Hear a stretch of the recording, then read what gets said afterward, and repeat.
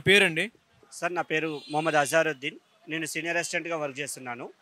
Veterinary and animal husbandry డిపార్ట్మెంట్లో work చేస్తున్నాను. డిపార్ట్మెంట్లో. ఏంటి సమస్య ఏంటండి?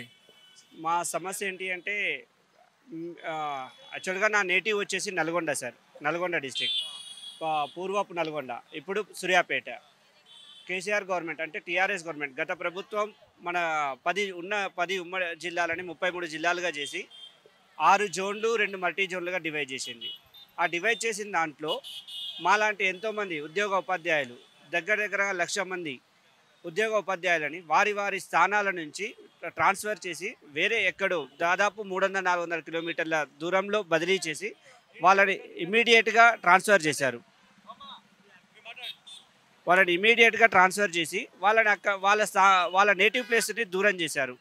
దీనివలన వాళ్ళు ఎంతో మానసికంగా ఎంతో ఆవేదనకు గురవుతున్నారు. సో వా- గత ప్రభుత్వం మా మా మా సమస్యని పట్టించుకోలేదు.